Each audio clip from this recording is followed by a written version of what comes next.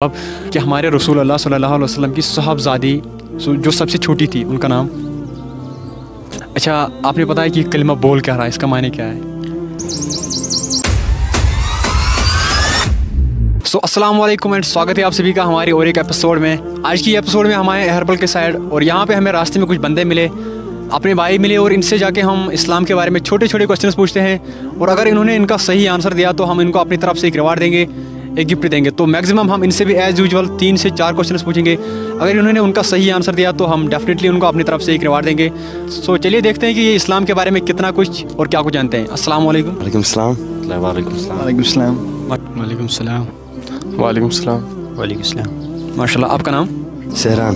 इमरान अहमद चौहान। मुश्ताक अहमद पसवाल। फैज़ान। फैसल। माकिल अहमद खटाना माशाल्लाह। भाई लोग आप लोगों के पास थोड़ा सा टाइम है? हाँ।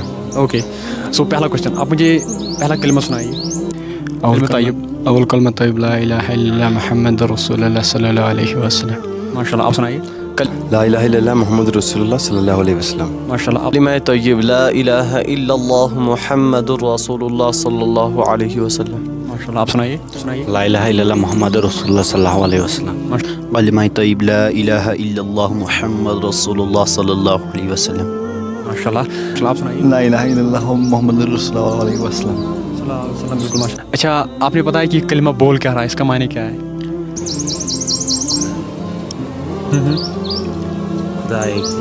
खुदा ही और खुदा के सिवा कोई महबूद नहीं।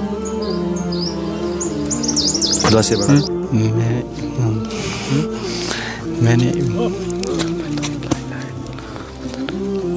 मैंने ईमान लाया।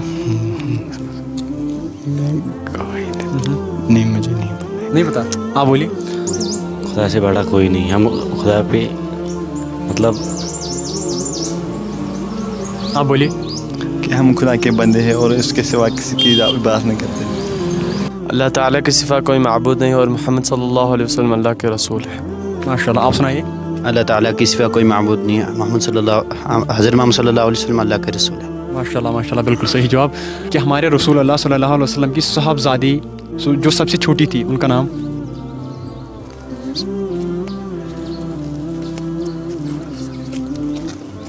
आपने पता है? हज़रत फ़ातिमा रज़ी अल्लाह ताला अन्हा।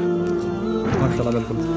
थैंक यू सो मच आपसे मिलकर बहुत अच्छा लगा। थैंक यू थैंक यू ठीक लेकिन इस्लाम के बारे में आप लोगों ने सीखना है ठीक है? इस्लाम के बारे में पढ़ना जानने की कोशिश कीजिए ठीक है?